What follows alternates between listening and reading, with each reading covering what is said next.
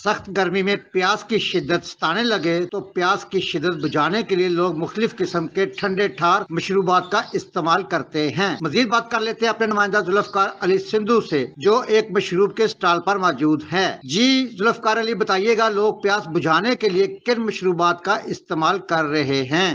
तो जब सूरज आग बरसाने लगे और गर्मी की शिदत में प्यास सताने लगे तो लोग जो है प्यास की शिदत को कम करने के लिए जो है मुख्तलिफ़ किस्म के ठंडे ठार मशरूबात इस्तेमाल करते हैं।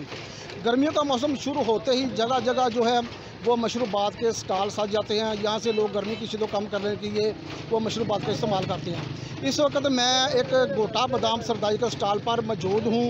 यहाँ से जो लोग हैं वो सरदाई का इस्तेमाल कर रहे हैं। इस वक्त हमारे साथ एक शायरी मौजूद है। आइए इनसे जानते हैं कि इस सरदाई की अफादीत क्या है।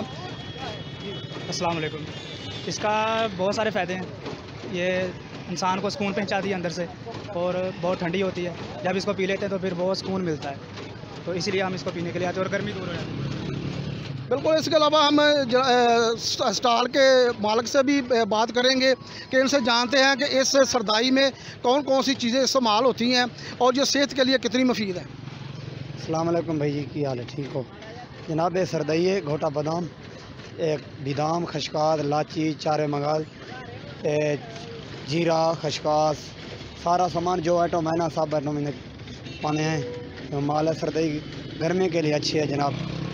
बस हम तुम्हारी खिदमत के लिए हैं। गर्मी होती है ना इस वजह से। एक गिलास कितने का देते हैं? पचास का चालीस का।